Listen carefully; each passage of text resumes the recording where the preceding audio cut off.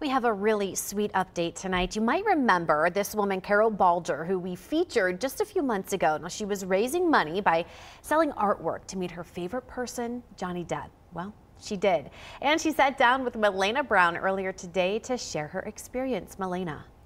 Elise, this was truly a dream come true for Carol. She told me she has loved Johnny Depp since 1987.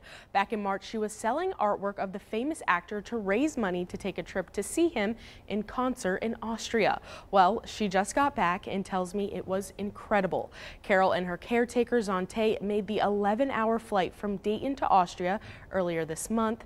And once they were there, it was off to a meet and greet where Carol had a life-changing experience.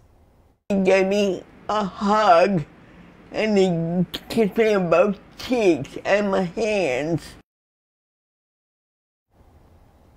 And now, Malena, we know that she was selling her artwork, but how much was she actually able to raise?